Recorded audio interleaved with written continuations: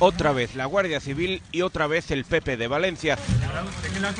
El ex vicealcalde Alfonso Grau acaba de salir de su casa detenido tras varias horas de registro a su domicilio.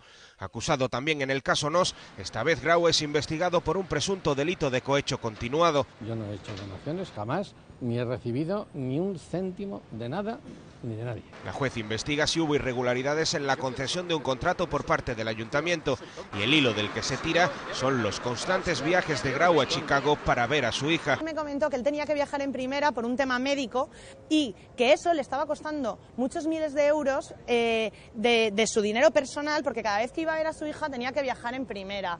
Eh, ahora parece ser que lo que se está investigando es si realmente ese dinero salía de su cuenta o de la de otra persona. Según las provincias, la otra persona detenida sería el dueño de esta agencia de viajes, Transvia Tours, beneficiaria de dos contratos municipales con al menos 420.000 euros. Yo no tengo ningún temor. Quien haya cometido un delito en el Partido Popular, que lo detengan, que lo metan en la cárcel si lo tienen que meter, que la justicia actúe. El que fuera número dos de Barberá durante dos décadas ha entrado hace solo unos minutos detenido en la comandancia de la Guardia Civil para prestar declaraciones.